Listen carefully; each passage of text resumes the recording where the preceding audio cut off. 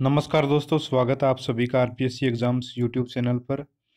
दोस्तों RPSC second grade की जो एग्ज़ाम है, वो 28 अक्टूबर से स्टार्ट होने वाली है, ये आप सभी को पता है। और अभ्यर्थी इसकी तैयारी में भी लगे हुए हैं। और एक केस जो इसके ऊपर लगा था, जो 22 तारीख को रजिस्टर हो गया था, हिमांशु जैन इसके वकील हैं। और 22 तारीख को ये 22 अक्टूबर को ये केस रजिस्टर्ड हो गया था। हाई कोर्ट राजस्थान, जयपुर में और प्रेम पवरिया नाम की लड़की है, एक उसने ये केस किया है। यह केस दोस्तों ध्यान रखने योग्य बात यह है कि यह केस आरपीएससी पे किया गया है। सरकार के विरुद्ध ये केस नहीं है, इसलिए एक बात तय है कि सरकार इसमें अपना एडवोकेट नहीं भेजने वाली, क्योंकि ये केस सरकार के खिलाफ है ही नहीं। कुछ लोग बोल रहे हैं कि सरकार इसमें भी वकील नहीं भेजेगी तो स्टे आ जाएगा। तो दोस्तों, सरकार इसमें वकील भेज ही नहीं सकती क्योंकि ये मैटर है आरपीएससी का। अब आरपीएससी का जो वकील है आरपीएससी खुद उसको भेजेगी। अब यह आरपीएससी के ऊपर डिपेंड है कि वह वकील भेजती है या नहीं भेजती है। अगर आरपीएससी वकील भेज देती है, तब तो केस मतलब अगर ढंग से पैरवी की आरपीएससी की तरफ़ से अगर अच्छे से पैरवी करी गई, तब तो ये केस निकल जाएगा। कोई दिक्कत नहीं है, अट्ठाईस को एग्ज़ाम हो गई, हो जाएगी, लेकिन अगर आरपीएससी ने वकील नहीं भेजा और या फिर ढंग से पैरवी नहीं की गई तो दोस्तों स्टे आने की पूरी संभावना क्योंकि इसमें स्टे की एप्लीकेशन भी साथ लगाई गई है। यानी कि स्पेशली ये जो केस किया गया है, ये स्टे लेने के लिए किया गया है और इस केस की जो सुनवाई है, वो कोर्ट नंबर सोलह में होगी।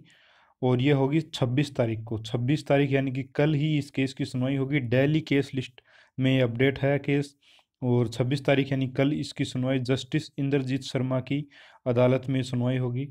मैंने पहले ही बताया था कि जस्टिस इंद्रजीत शर्मा बहुत जल्दी स्टे नहीं देते हैं किसी मुद्दे पर। लेकिन फिर भी दोस्तों, चूँकि 28 को ही एग्ज़ाम है और इसलिए कल इस केस को ढंग से सुना जाएगा। और जो अगर आरपीएससी ने ढंग से अपना पक्ष नहीं रखा तो दोस्तों स्टे आ सकता है पूरी पूरी संभावना इसकी बन रही है, क्योंकि काफ़ी सारी एग्ज़ाम्स एक साथ आ गई हैं। सबसे बड़ी दिक्कत यही आ रही है और कोर्ट जो है वो यह चीज़ ज़रूर देखेगा।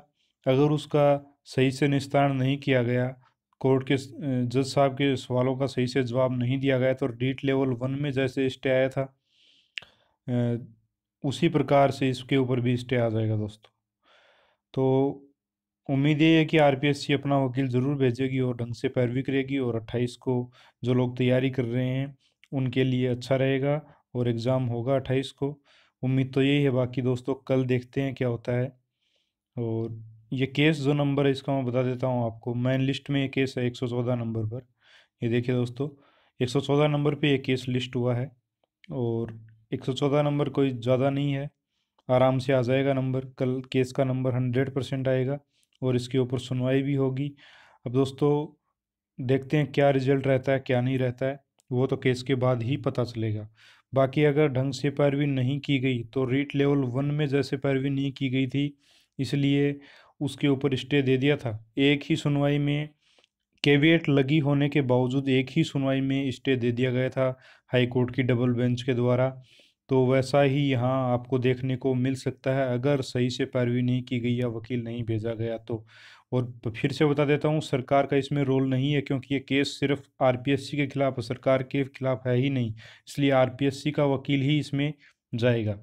ठीक है दोस्तों, जो भी न्यूज़ होगी कल आपको बता दी जाएगी वैसे एक सौ चौदह नंबर केस है और 16 नंबर कोर्ट में जस्टिस इंद्रजीत सिंह की अदालत में ये केस है, आपको बता दिया मैंने। जो भी न्यूज़ होगी, कल आपको दे दी जाएगी। ठीक है दोस्तों, मिलते हैं अगले वीडियो में एक नए टॉपिक के साथ। तब तक के लिए जय हिंद, जय भारत। और बहुत जल्द आपको मैं अपडेट दूँगा साइंस मैथ केस के बारे में भी, कि अभी क्या चल रहा है और क्या आगे पॉसिबिलिटी है और क्या हो सकता है। ठीक है दोस्तों, धैर्य बनाए रखें और जो आर पी सेकेंड ग्रेड की तैयारी कर रहे हैं वो अपनी तैयारी जारी रखें। मिलते हैं अगले वीडियो में एक नए टॉपिक के साथ। तब तक के लिए जय हिंद, जय भारत।